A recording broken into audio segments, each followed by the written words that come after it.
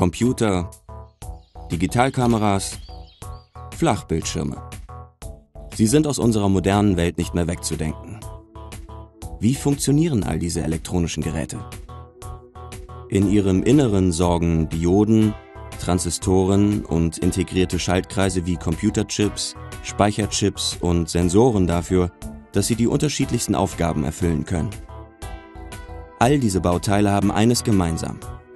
Sie nutzen Halbleiter.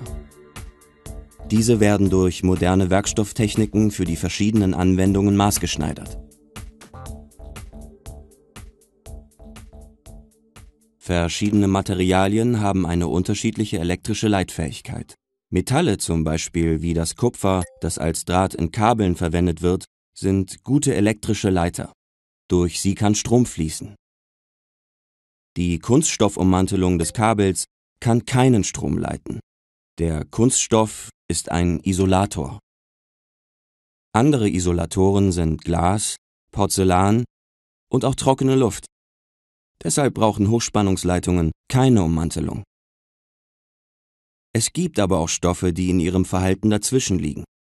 Die Halbleiter. Zum Beispiel Silizium und Germanium.